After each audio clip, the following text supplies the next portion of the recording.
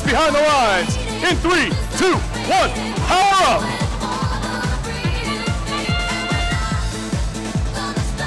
All right, all three bots with the blue alliance cross the auto line, and all three bots with the red alliance cross the auto line.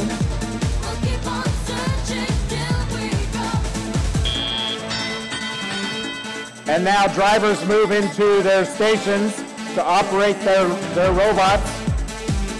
1939 Kuhnigits deposits a power cube on the plate of the scale, giving the Blue Alliance control.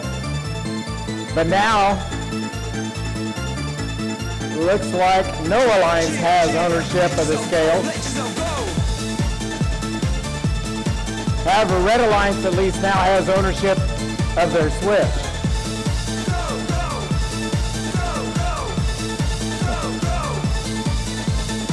We have a penalty against the Red Alliance.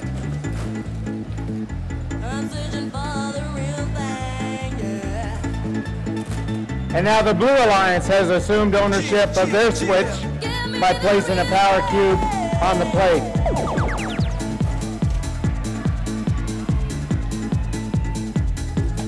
That scale is swinging back and forth as the two alliances deposit power cubes on the scale. Right now, the Blue Alliance has ownership, so they're racking up the points. Pretty close match, but the Blue Alliance is scoring more quickly now.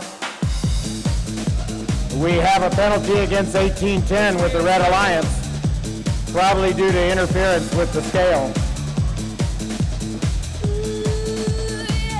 Blue Alliance has the ownership of the scale again.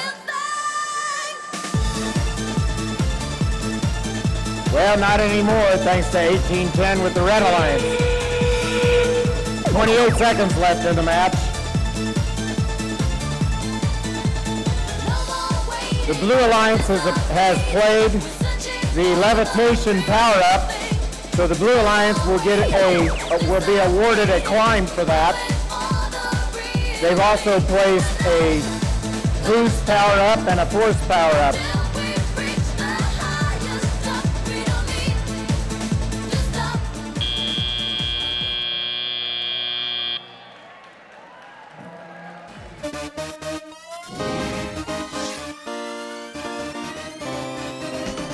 And your final score, Blue Alliance defeats the boss with a score of 265 to 168. And they will be taking